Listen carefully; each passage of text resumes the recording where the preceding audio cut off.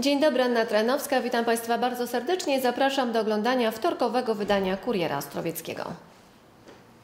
Na sesji inauguracyjnej powiatu ostrowieckiego nowym starostą została wybrana Marzena Dębniak, która pełniła dotychczas funkcję wiceprezydenta Ostrowca. Zagłosowało na nią 15 radnych. Nowo wybrana starosta powiatu ostrowieckiego przyznała, że spodziewa się poważnych wyzwań na tym stanowisku. Ja lubię nowe wyzwania, decydując się na objęcie tej zaszczytnej funkcji.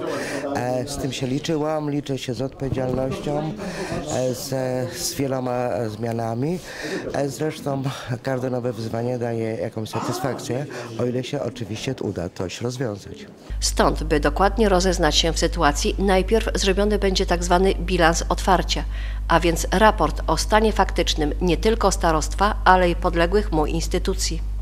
E, Także proszę mnie nie pytać o szczegóły, bo na szczegóły jeszcze przyjdzie e, czas i nazywamy to szumnie bilans otwarcia, ale to jest naprawdę pokazanie prawdziwego stanu powiatu.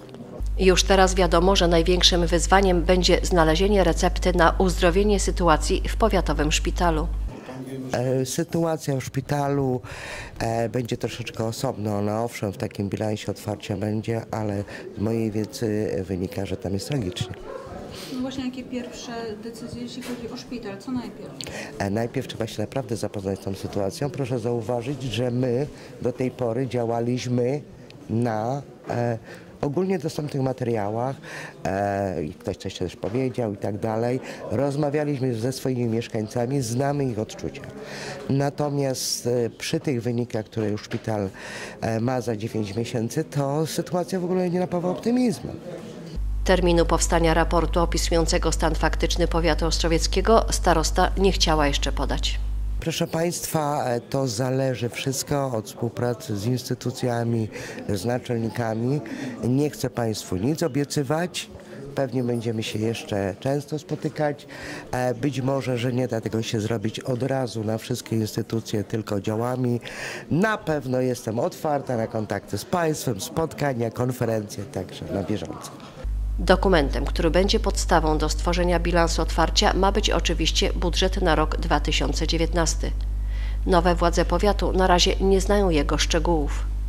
Jak go zobaczę w poniedziałek, to mogę Państwu powiedzieć. Yy, Do 15 yy, listopada e, starosta i zarząd powiatu byli zobowiązani złożyć projekt budżetu i przesłać go do Regionalnej Izby Obrachunkowej. E, Zobaczymy, jaki on jest. Nowo wybrana starosta nie zaprzecza także wprowadzaniu zmian kadrowych. Jak Państwo mnie słyszeliście, to powiedziałam słowo profesjonalizm i to będzie e, jakaś e, wykładnia, wyrocznia tego, co e, zamierzam e, zrobić. E, My do wyborów szliśmy mm, z jednym punktem programu, między innymi e, to była nowa jakość w urzędach i jednostkach e, starostwa e, i tego chcę dotrzymać. Jednocześnie Marzena Dębniak deklaruje współpracę zarówno z byłym starostą, jak i radnymi opozycji. Nowe wybory samorządowe przyniosły wiele zmian, nie tylko personalnych.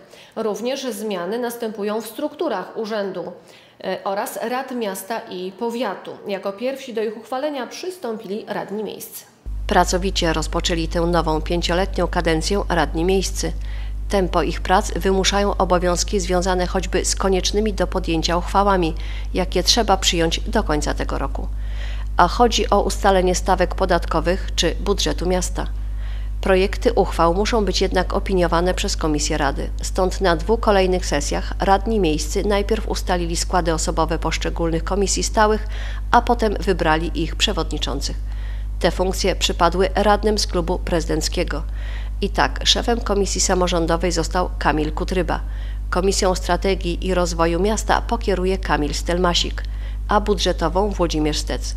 Na czele Komisji Edukacji, Wychowania, Kultury i Sportu stanął Mariusz Łata, a Komisji do Spraw Rodziny Marek Giemza. Nie udało się zachować wieloletniej tradycji oddania przewodnictwa Komisji Rewizyjnej opozycyjnemu ugrupowaniu. Jej szefem został radny z klubu prezydenckiego Aaron Pietruszka. Kontrkandydatem wystawionym przez klub PiS był Mateusz Czeremcha. Podobnie było z wyłonieniem szefa nowej komisji skarg i wniosków. Przewodniczącym głosami kolegów z klubu prezydenckiego został Stanisław Choinka. Jego kontrkandydatem z klubu PiS był Tomasz Wójcik. W takim razie przechodzimy do realizacji porządku obrad. Podczas tej sesji radni ustalili także wysokość wynagrodzenia dla prezydenta. Będzie ono wynosiło 10 940 zł brutto, a więc około 7 600 zł netto. To taka sama kwota, jaką ustalono po ostatniej zmianie ustawy o wynagrodzeniach dla prezydentów, burmistrzów i wójtów. Wynagrodzenie może być jedynie zwiększane co 5 lat o nagrodę jubileuszową. Powinny podejmować prawomocne uchwały. Proszę Państwa radnych o zalogowanie się do systemu. Ta kadencja samorządu to także nowe wyzwania dla radnych. Zgodnie z przepisami głosowania muszą odbywać się także w formie elektronicznej. A to w przypadku radnych miejskich oznaczało konieczność zapoznania się z urządzeniami do głosowania. Uważam, że jest to bardzo dobry sposób głosowania.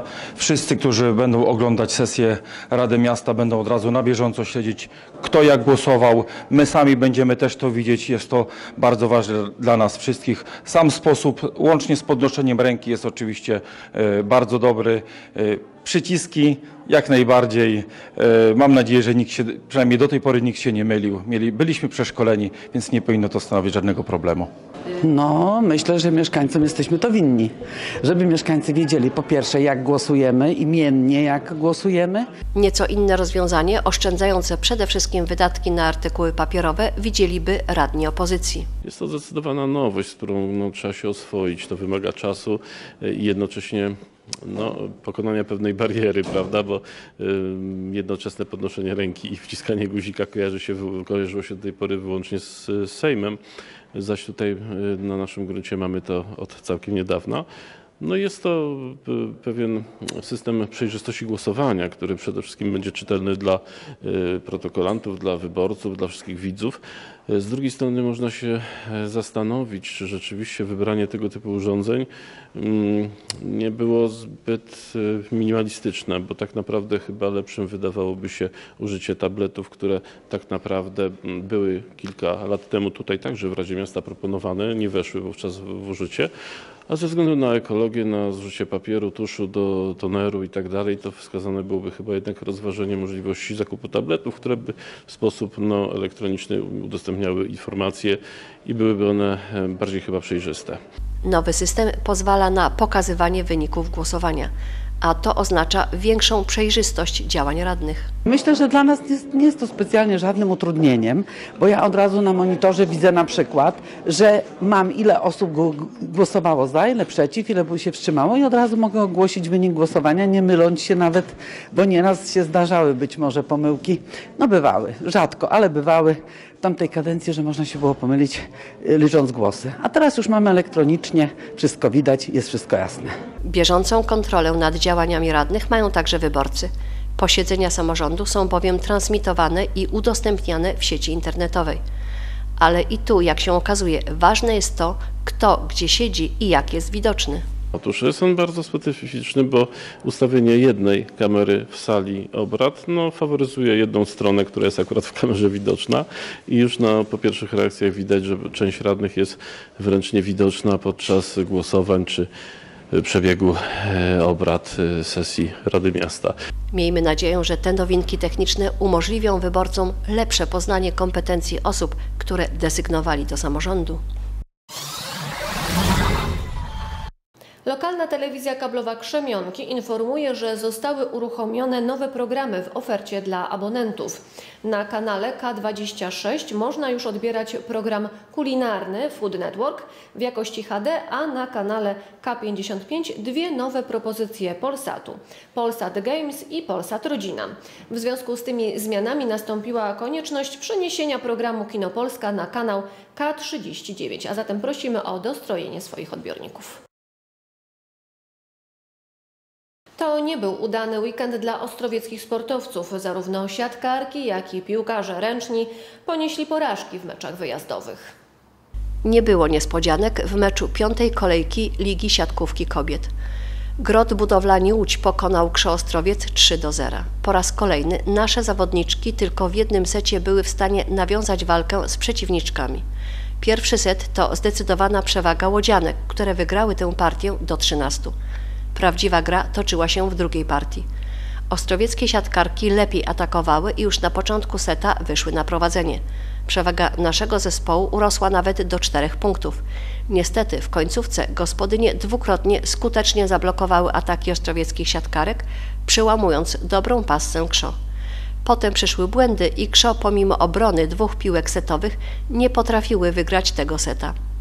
Podłamane i zmęczone siatkarki z Ostrowca łatwo oddały trzecią partię do 13. W ślady pań poszli szczypiorniści Krzo-Odlewnia. W meczu dziewiątej kolejki pierwszej ligi grupy C piłkarze ręczni Krzo-Odlewnia ulegli w Chrzanowie miejscowemu MTS 32 do 23. Gospodarze już na początku uzyskali trzybramkowe prowadzenie. Ostrowczanie przez całe 30 minut gonili wynik, zbliżając się nawet na jedną bramkę. Niestety chrzanowianie utrzymali korzystny wynik do przerwy. Druga połowa to powtórka meczu z akademikami. Krzo przestało grać, a gospodarze skutecznie wykańczali swoje akcje. Niestety kryzys w naszym zespole wyraźnie się pogłębia. Tą informacją kończymy dzisiejsze wydanie Kuriera Ostrowieckiego. Dziękuję Państwu za uwagę i zapraszam jutro o stałej porze. Do zobaczenia.